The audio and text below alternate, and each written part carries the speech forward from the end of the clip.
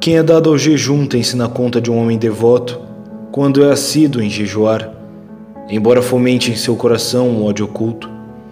E ao passo que não ouso umedecer a língua com umas gotas de vinho ou mesmo com um pouco de água, receoso de não observar a virtude da temperança, não se faz escrupuloso de sorver em largos austos tudo que lhe insinuam a murmuração e a calúnia, insaciável do sangue do próximo. Uma mulher que recita diariamente um acervo de orações se considerará devota por causa destes exercícios, ainda que fora deles, tanto em casa como alhures, desmande a língua em palavras coléricas, arrogantes e injuriosas. Este alarga os cordões da bolsa pela sua consideração com os pobres, mas cerra o coração ao amor do próximo, a quem não quer perdoar. Aquele perdoa o inimigo, mas satisfazer as dívidas é o que não faz sem ser obrigado à força.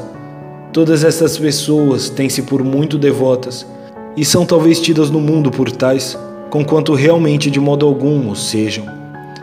A verdadeira devoção, Filoteia, pressupõe o amor de Deus, ou melhor, ela mesma é o mais perfeito amor a Deus.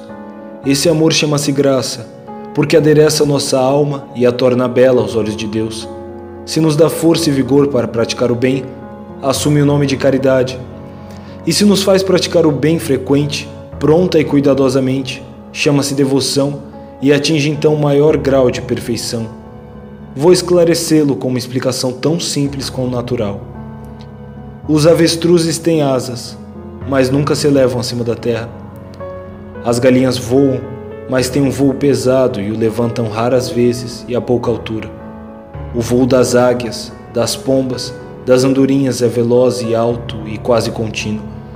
De modo semelhante, os pecadores são homens terrenos e vão se arrastando de contínuo à flor da terra.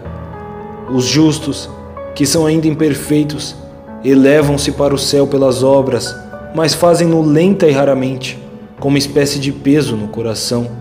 São só as almas possuidoras de uma devoção sólida que, à semelhança das águias e das pombas, se exalçam a Deus por um voo vivo sublime e, por assim dizer, incansável.